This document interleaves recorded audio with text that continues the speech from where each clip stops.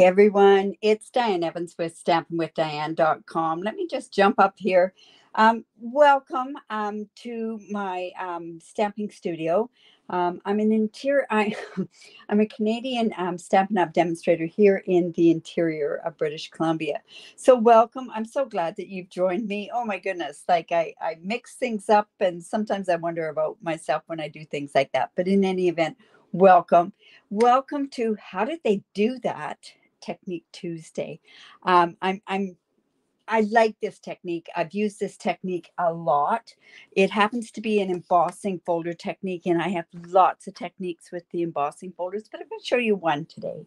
So we're going to head on down to um, my desktop. So this is, we're going to call it embossing folder number one technique. Um, this is one that um, adds an awful lot of shading, adds a lot of dimension to your card. Um, and I, I just think it's one that you really need to kind of look at and and like and, and actually use it and use it in a lot of different ways. I'm using it in a very, very um, an easy way of using it uh, today. However, um, you can really step this up by doing this particular one. So what we're going to need today is I'm using the boughs of holly. I love this. This is part of our stamp camp at the end of the month that involves our international stamp camp. So you purchase the suite, you get 13 make and takes for free. My goodness, what what better um, options can you have there? So on this this technique, it says um, there's easy ways to change the look of an embossing folder, and I'm going to actually show you today the difference. Hello. Um, I'm going to show you the difference of it being done and it not being done, and then you can kind of take your pick um, from there. What you want to do is you want to pick an embossing um, folder that you want to see the dimension. Now, I've used this one and I'm using it again today, um, brick and mortar. And the reason I'm using this particular embossing folder is because you can see such a dramatic change with it. So um, I, that's what I really like about this embossing folder. So we're going to use that. Like I said, we're using boughs of holly. And the other thing, you can do this two ways. You can do this with an ink spot or you could do it with a hard brayer. So when I mean a hard brayer, I mean a hard rubber brayer. Um, but I find that this other way is quite easy. Sometimes these brayers are hard to find. We used to sell them years ago, but we don't anymore. So that's unfortunate. So what you can get these um, uninked Stampin' Spots. Now you can use an ink pad with this, but I find that this works the best. For me, it works the best. So what you would just do when it's uninked, which is like this, you're just going to take your um, your ink spot or your re-inker. And all you do is you just put this on like this and then basically take it and store it upside down so that the ink is all going to be up at the top. Now, what I always do with these ink spots, because I like them for one, you can take them off to um, um, stamp camps, you can take them off to um, retreats that you go to. I put a circle of the color that this is. So this one happens to be smoky slate. Now, I'm using this. I'm using Sahara sand, but I like this color with the Sahara sand.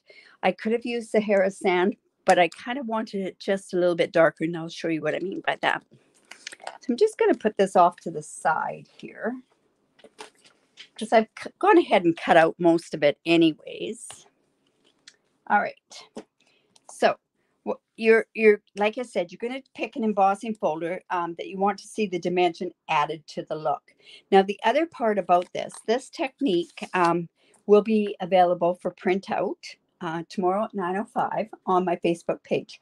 So if you are not a member of my not my Facebook page, my Facebook group, if you're not a member of my Facebook group, just go down below here. There is a link to my Facebook group, and you can um, download this tomorrow what I do with this is I will link it to my video that I've done that I'm doing here right now.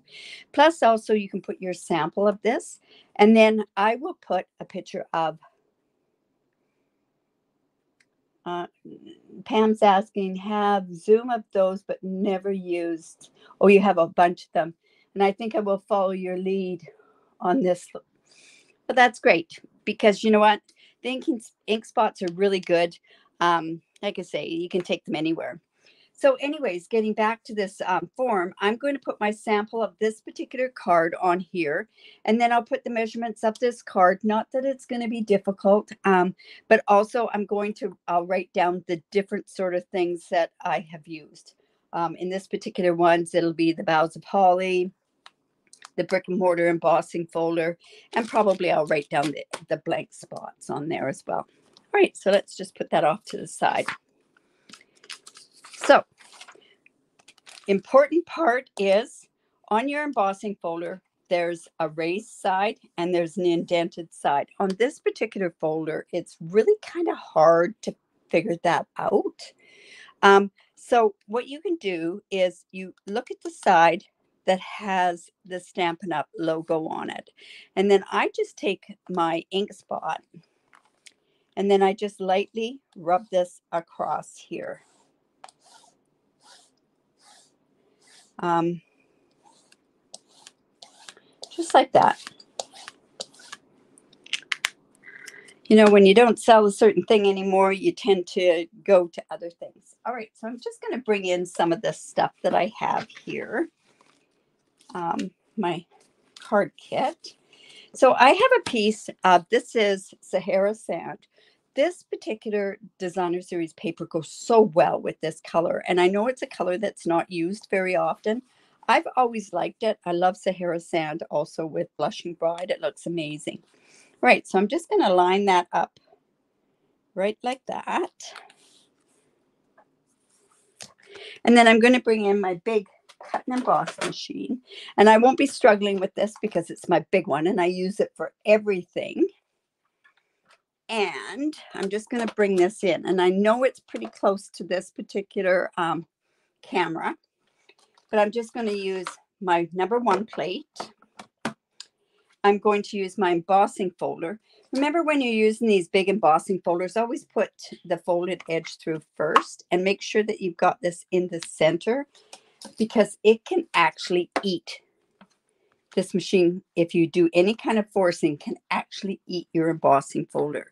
Um, I would say, ask me how I know, um, but that's pretty obvious that I, I do know. And then, of course, all we did was just put this number four plate on there and it goes through. It's funny how I had so much trouble the other day when I was doing this. And then take a look at this. Does that not look amazing? I think it just it just sort of pops it out.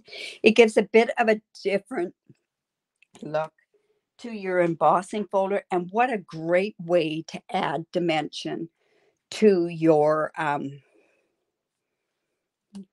your um the card. It's a background. My goodness, I just went nuts. Yeah, it, it's amazing. And I find like if I use the brayer, which it works great because I I I went, how am I going to do this without the brayer? Because it's so frustrating when you can't get that brayer, but it it just tends to ink it up a little bit more. I have a piece of evening evergreen, and this happens to be four and a quarter by 11, and I've scored it at five and a half. That's scored into the mountain. You know, I don't know if I cut that correctly or not. I'm just going to come in and let's score that. Hello. All right. So then we're going to put that on there. Now I've gone ahead and I've cut out a bunch of these different um, things from the particular the boughs of holly that I figured we're going to go with it. I don't know. I haven't put the card together, but I've cut my base leaves with the um, Sahara sand. I've got this part here, and we have that with Sahara sand. And then I use the evening evergreen. And we're just going to go ahead and we're going to color that. We're going to put that, glue that onto our, our leaves. Now, I'm going to put this on here. Now, I could have used those adhesive sheets. I just find that a lot of times I keep forgetting about them. So I'm going to let that just set or sit and it's going to set a bit so that when I put it together, we're not going to have the glue oozing out. So this happens to be the second leaf, second size leaf. I'm going to let that set as well. Now on this particular part, I'm going to also go ahead and I'm going to let that set on there as well. But I think what I'm going to do first is I'm going to go ahead and I'm going to emboss this. Of course, I'm going to emboss, right? Now, I could go ahead and just stamp this with Evening Evergreen, which is what I'm going to stamp it in. But I'm going to do embossing because I want to use the clear embossing powder because sometimes, unless I put this in my Stamparatus, I don't get a really dark image. And by doing it with the, let's just put this here. Now, I should be letting this set as well. All right, so I'm just going to come in with my embossing kit. And I'm going to use my, my embossing buddy. I'm sure glad they brought these back because you know what? I felt bad about using my embossing buddy all the time. I knew when they retired, I bought a few because I love them so much. Right, so let's go back. And I'm thinking to myself, I now I'm thinking this is more of a masculine Christmas card. So um, I'm going to actually go season's greet. Wow, Christmas wishes. You know, I'm going to do season's greetings on this particular one. I usually use the Christmas wishes, but I'm going to use the season's greetings on this particular one. And I'm just going to, you know, I'm hoping those aren't getting too dry. I think we should be okay with this. I'm coming in with my paper piercing mat. Maybe I should do some paper piercing, right? Because we haven't done that. I haven't done that in ages. Great technique. Maybe that's something I should do next week. Anyways, I'm just going to come in with my season's greetings. If I get this good and dark, maybe I don't have to emboss. But I just find with the photopolymer stamp sets, you don't get them as much. Now see, it's not bad, but I'm going to come in with my clear embossing powder. And of course, I always use, um, I don't use the tray, but I definitely use this. And I use just a piece of cardstock. Now, the reason I do that is because I always found that if you didn't use the cardstock, you and you had a spoon in there, there's so much static electricity and you end up with embossing powder all over the place. So now we'll just put that back on there. Bring out my tweezer and let's just put that away. Now I'm thinking that these are really drying. So let's, before I go ahead and emboss that, let's go ahead and put these onto here.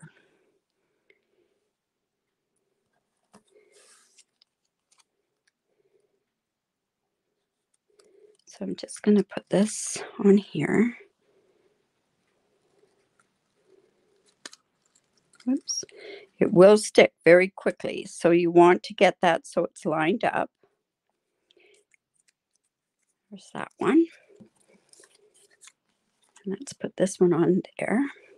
And I find if you go and to line these up, I always line up, I hold the um, the stem there put that on and then squeeze it so that it's right even with the leaf itself. And then I did this in cherry cobbler and I just put, I did color on color. I think that'll be enough. Okay, so let's go back to this part here. All right, so I'm going to come in and let's just bring in our heat tool. I love the two speeds of the heat tool. Oh, thank you, Becky. I really do appreciate that. The one of the nicest things that you can do for me, the best compliment you can give me is to share my video. So who's taking advantage of the free shipping today? Oh my goodness. Free shipping. can't beat it. And that works out to 11%, you know, on all orders over 10, um, over $100 in Canada, anyways. But 11% on shipping is huge, especially in this day and age. So see how much that that makes it um it just pops off better that way. All right, so then I'm just going to come and put the glue and we're going to let that set as well.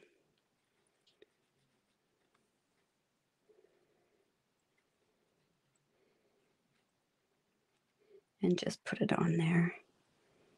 Okay, we're just going to let that set for a second. All right, so on the inside of the card, I was thinking that what we could do is we could go ahead and we could put um, some of the leaves on there. So I'm going to come in. I think I'm just going to do an outside leaf is what I'm going to do. And I think I'll just do the smaller one. And I'm going to have to use that paper piercing tool again. But I just want to get this on here and then I can show you how that works. Now, the pieces that go behind this look like this. They look a little strange, right? But they line up just like that. See, I didn't let that set enough. But again, what we can do with that is just take our sponge and just take that glue off. Great. So I want to show you this now. So what we're going to do is we're going to put this onto the back here. Just going to put this on here. And it's just kind of a plain sort of type card. We're going to put the berries on right about here. But see how that's coming together like that? Now, what I want to do is I want to show you this card without that embossed background. You see what I'm saying? Doesn't that look so much better with this this background? Right? So let's go ahead and put this on.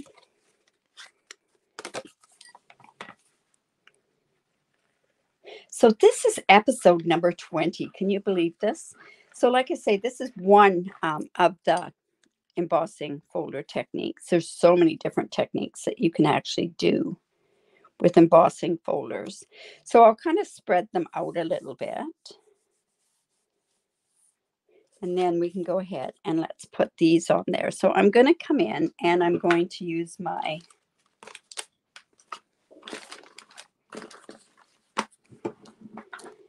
dimensionals.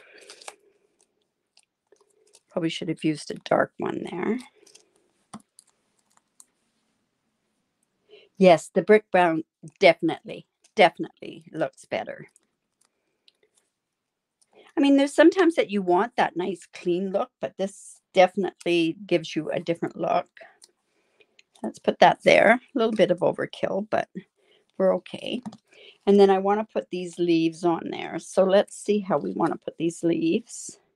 I'm going to put those behind. This is going to go, I want to bring this over here a little bit. Just like that. All right. So one thing I'm going to do is I'm going to put a leaf, I mean, a dimensional up at the top here. And I'm going to put a dimensional up at the top here. Then I'm going to come in with the glue. We're going to put that on there again. So I want to make sure that I know where I'm putting this. So go back.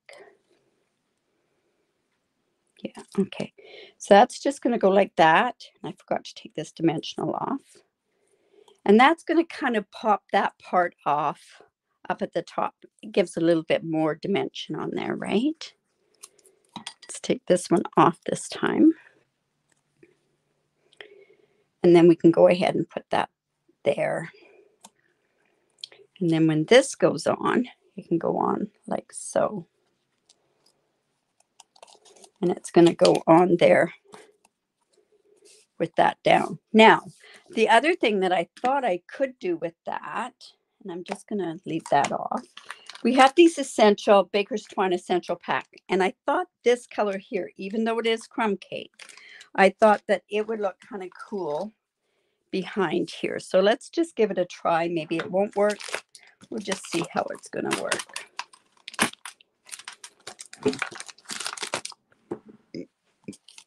Okay. Okay, a lot of people, and I, well, I know this, is people go in, and I wanted this to be a masculine card, so I didn't really want it to be, to have a bow on it, but check this out. I'm just going to tie a bow, but we're not going to put the bow on the front. I'm going to bring this down like so. I'm going to cut that. And then what this can do is it's just going to go up. Let's see how this is going to look. Maybe I didn't do it long enough. I didn't. Oh well, we'll we'll just loop it then. All right, so I'm just going to come in with my seal. And this is before I take the dimensionals off. And then let's just loop this. I say this would work great for a masculine card. It's not too pretty. I mean, it depends. Like, I just thought this was really cool colors to work with this. So we're just going to put that down there. And I'll cut this. I'll do this other piece down there. I didn't mean to cut it. Oops, there we go. So yeah, free shipping day. Oh my goodness.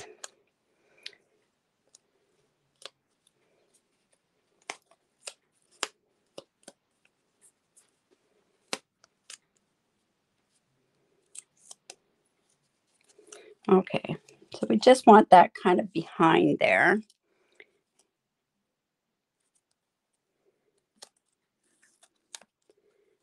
It's not going to come off there.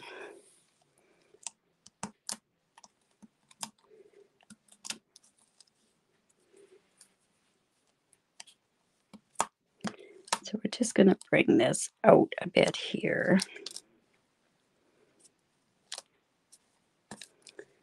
There we go. This can go up here. So this is just going to go on here like so. And then I'm going to put these berries on here, just like that, just to give a tiny bit of a pop of color. Just watching. Um, oh, Pam says she was racking her brain for a masculine card. Good. I'm glad that helps. Because sometimes, you know, like I say, it's hard to come up with a masculine card. And we're going to put some embellishments on there. So, like I say, I have the Sahara sand for the inside. And I know a lot of people don't like this color, but honestly, it is a great neutral color. And like I say, for the inside, I'm just going to use the leaf that is um, the detailed leaf. And then I'm just going to come in here and just stamp that. There we go. And then we can put that on the inside.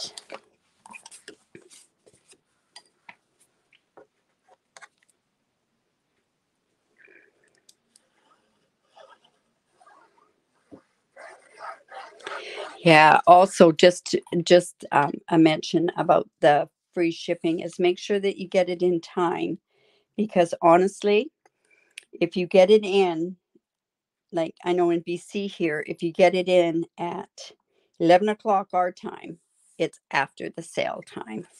All right, so let's go ahead and let's put some embellishments on there. I think these rustic um, dots would work best. Um, I tried the brushed ones and I don't like how they would look. I think they're too shiny. These ones wouldn't be too bad. Let me just go in and just check that. I honestly think these ones would be the best. Let's take a look. Oh, that doesn't look too bad. Let's try that. Let's try these. Hmm. You know what? I was wrong until I put that on there. I'm going to use these.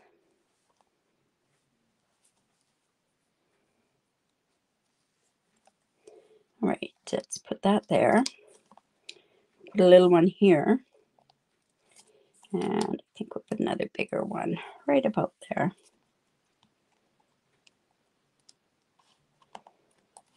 Always the question where to put it, right? So, masculine card using the embossing number one folder number one technique. I know that sounds like a silly name to call it. I could call it the background embossing folder background technique just it wouldn't fit up there. I'll, I'll try to figure a different name that I'll put for that. But I want to show you another card. Oh my goodness. I had done this quite a few months ago, actually. It was for a mystery challenge that I had done it. And this had used the same embossing folder. But see how subtle that is because I used the Stampin' Spot. And this, I had used smoky slate with smoky slate and did it into like um, yeah, anyways, there's that one there. This one was done with a brayer. This was done with the spot. And that's what I say. You have a little bit more control by doing it with the Stampin' Spot. So, you know, it just depends on how you like to have it and what the look that you have. So check back tomorrow at 9.05. I will have this in on my Facebook group. Oh, thank you. Actually, those are Scotty's. Anyways, um, so this, you can check this out. It's Scotty's, it's an easel, a split easel card, and that is also on my YouTube channel. Um, this, you can put your sample on there. This picture will be here. I will put the notes of the different product that I used on there, episode number 20. It'll be on in my stamping with Diane Stampers group. The link is down below for that. Um, yeah, so, in any event, I hope you enjoyed that. So, make sure that you come back tomorrow. Tomorrow um, is um, tomorrow is mystery. Um, it's mystery stamping tomorrow. So, I'll give you three clues. The clues will be posted at noon, and I will be going at three o'clock uh, p.m. Pacific Daylight Time. Oh my goodness, we're still on Pacific Daylight um, Time. So, I hope that you enjoyed that. Remember, give me the thumbs up, share my video. I really do appreciate that when you do do that. And um, we will talk to you soon. Bye for now.